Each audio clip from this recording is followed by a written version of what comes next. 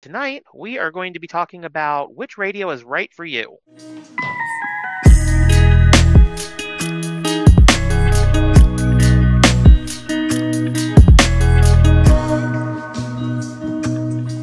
How to find out which radio is the best one for your needs, and what are some of the differences between the different models. And I'm sure Jeremy has some ideas in his head on which ones are best suited for which needs. Well, some of us forget to check the checklist, and other times we forget to put the checklist in the bag. So, Lenny put on there or charge your battery. Now, I have been guilty of that. yes. Also, I have done that as well more than once, especially when I'm trying to pull something up for the 878 and I'm like, "Oh, I haven't used the radio in a while. The battery was charged last time I used it." And then I forgot, "Oh yeah, the last time I used it, I was going to put it on the charger." Oops. Um, so spare batteries are a plus, or in the case of the 168, you can always charge it on the go with the USB-C built I into the radio. like that.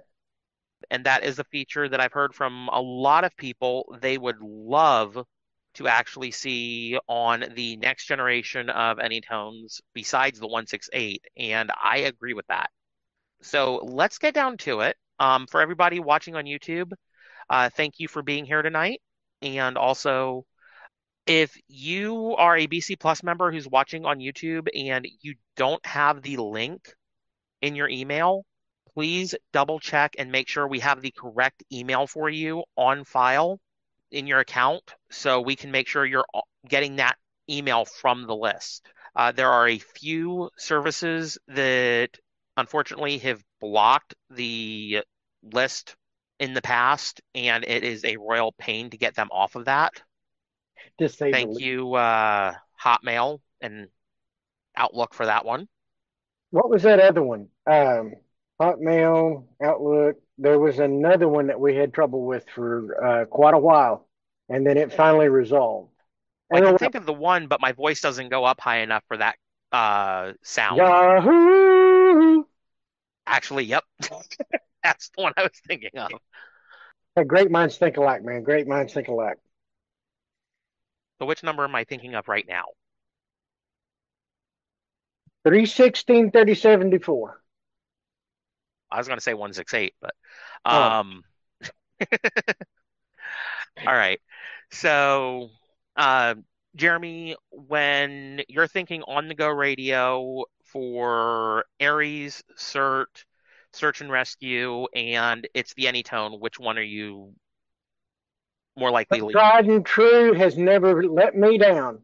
My 878. This radio has its battle scars. And uh, it's been kicked, it's been dropped, it's been ran over. I've been kicked uh, while I had it on my uh, pocket when I was out riding horses.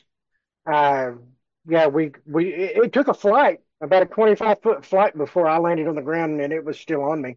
Only thing it did was break the clip. If it was any other radio that I personally owned, it would have shattered it, and it would have been a brown bag full of junk. But this radio is tough.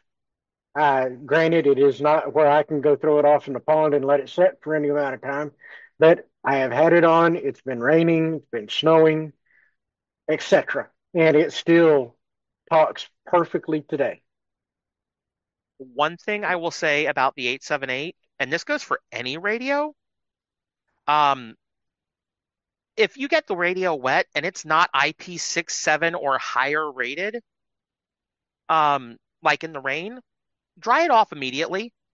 Don't let it sit with the water on it and where the water can ingress into it, because that will, you know, that can cause issues.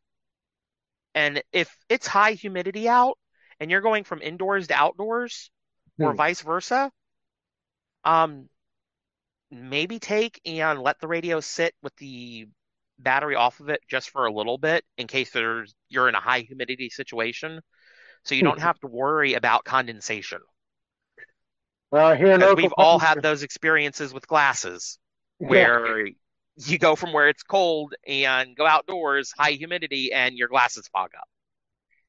well, I know with my fellow Okies that are in, the feed, I can vouch for it. Also, my friends that are down there in Florida. whenever you're out there, you can take a, a towel in the middle of summer, swing it around three times and wring it out just because of the humidity. When it gets that time for us up here, uh, I use those silica bags. Yes. And I have a cup holder mount for my five or my eight seven eight for my truck, and I've got that silica bag right there that the radio will literally set on while it's in the mount uh, to help mitigate that moisture issue. I haven't had a single bit of trouble. This particular 878 I've had for four years now, and it's been through everything and back.